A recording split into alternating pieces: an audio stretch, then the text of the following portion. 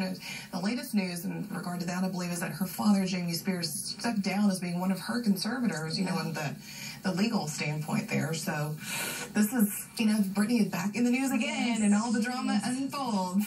We'll bring it all to you, of course. Well, a huge mystery in Belfast, Maine. Folks are trying to figure out who is behind a 20 foot tall duck floating in the harbor. It's kind of cute. It's huge, but it's kind of cute. A giant rubber ducky with the word joy on its front popped up last weekend. No one knows how it got there. Guess no one's paying attention. the duck is anchored in shallow water. It's bet- uh, between a pedestrian bridge and the town landing. So, of course, that has got everyone out there talking, as you can imagine, wondering where it came from. But also agreeing, definitely it's spreading a lot of joy in town. See, that, whoever put this out there, that's exactly what they intended to do, I'm sure. You know, there's so much uh, negativity and toxicity right now in the news and uh, so many issues happening in our country. We love like just little things like that can brighten your day, you know?